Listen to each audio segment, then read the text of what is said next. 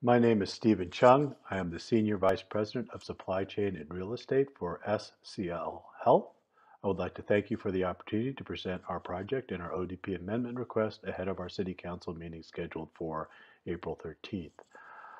I would like to also acknowledge and express our appreciation for the flexibility to have this virtual meeting so that we can continue to make progress on our project.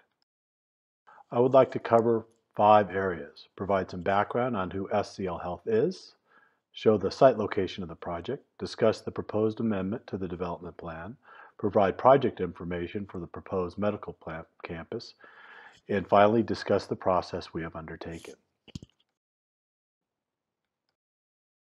I would like to start the conversation by providing some background on SCL Health. We are a faith-based community healthcare provider. Who we are is reflected in our mission, vision, and values with a particular focus on serving our communities, especially the poor and vulnerable. Our commitment to the community is reflected in the community benefit we provide. In 2018, we provided over 240 million of charity care and community programs across our system.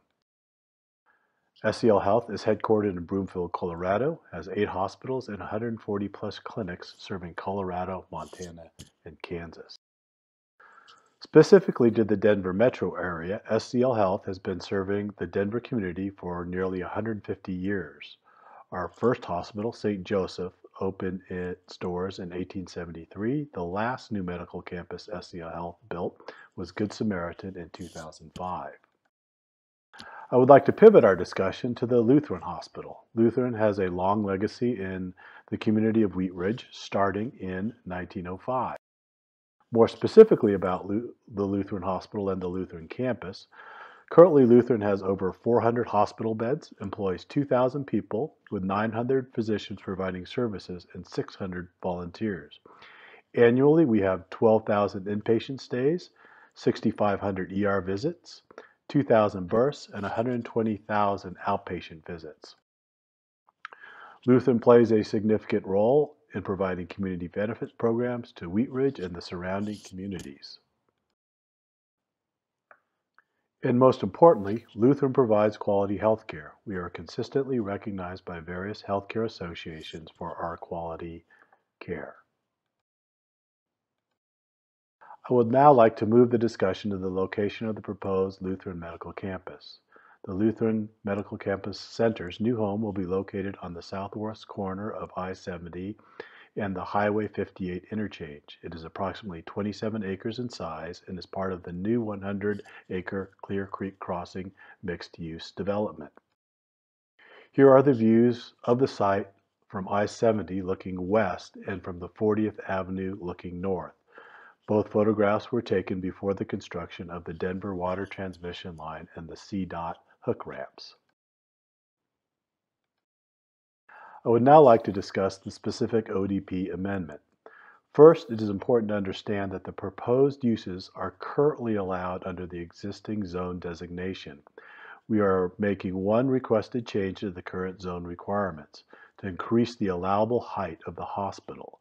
We are asking for a height increase from 90 feet to 102 feet for the patient floors and a height increase to 135 feet to accommodate a helipad elevator, and vestibule. The helipad height increase is limited to the helipad area only. As for the overall project, this is an overview of the conceptual layout. SCL Health will be replacing the Lutheran Medical Center with a new hospital with approximately 250 beds and the associated patient care services currently at our existing hospital. Two medical offices and a parking structure are also components of the campus master plan. This is an aerial view looking southwest from above the I-70 and Highway 58 interchange. The hospital and MOBs are shown in gray fronting I-70. The parking structure is shown in purple with the adjacent apartment project is shown in yellow to the west. Here is an aerial view looking northeast. This is a view of the hospital building from I-70. A small portion of the hospital height increase will be the elevator overrun for the helipad. This is the eastbound view on I-70. The hospital site sits low in a small valley, part of the Clear Creek topography. Here is the view from the Applewood Golf Course. The slide shows a 90-foot hospital with the overrun for an elevator. For comparison, this is the same view of the proposed height of 102 feet for the hospital and 135 feet for the elevator overrun. Here is a building section diagram of the proposed hospital on the right. The building section shows the proposed six stories, which is the same number of stories at the existing Lutheran hospital. On the left is a view of the existing six-story Lutheran Medical Center. Even though the two buildings are the same number of stories, an additional 11 feet in height is needed to meet today's building codes and to accommodate the size of today's medical equipment, i.e. large floor-to-ceiling height clearance is required. This view shows the area where the 135 feet in height is needed for the helipad overrun and elevator vestibules. This is shown in red. As you can see from the design, the height overruns for the helipad and elevator represent a very small footprint relative to the overall development. Based on similar facility operations, we anticipate five flights per month. There are two important factors in understanding why the helipad on the roof. The first is safety. Placing the helipad on the roof of the hospital is the safest and most efficient solution for most hospitals for several reasons, and is certainly the most safe for this site. Helipad roof placement supports the most expedient transfer of patients from the helicopter to the emergency facilities within the hospital, which is always the highest priority. A rooftop helipad is also the safest method for a helicopter to access the hospital because there are fewer vertical obstructions to navigate. This results in safer and quicker takeoff and landings and allows the helicopter to take off into the wind, the optimal direction for helicopters. Pedestrian safety is also increased with rooftop versus ground level helipads because of the reduced likelihood of dangerous swirling winds and airborne debris that typically occurs from the rotors at ground level.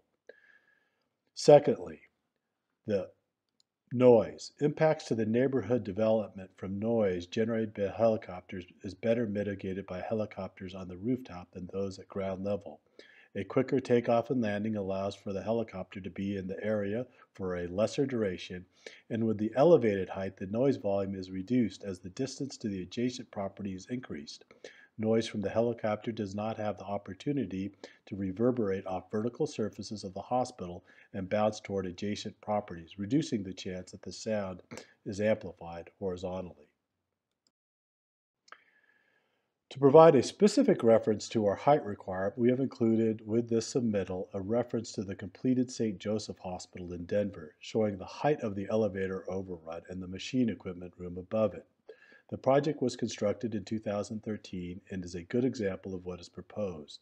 The difference in height to the top of the parapet and the top of the wall of the elevator machine room at the St. Joseph Hospital is 31 feet. The proposed hospital has similar needs and we are requesting a height of 33 feet above the parapet. St. Joseph Hospital was designed eight years ago, and the elevator system technologies have changed over time, so the additional two feet of height provides us with needed design flexibility to accommodate current technologies and code clearance requirements. Lastly, I would like to provide you an overview of our process that we have gone through for the ODP amendment. In terms of the process that we have completed, we met with the city in September of 2019 to discuss the project. We conducted neighborhood meetings last October. We submitted the ODP amendment at the end of last year. The Planning Commission approved the ODP amendment on February 20th. This brings us here today for City Council approval.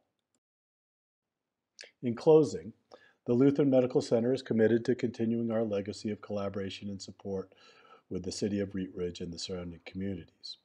Lutheran will continue to be a good neighbor, contribute to the vitality of the business community as the city's largest employer, provide high quality, low cost health care to patients and families we have the privilege to serve.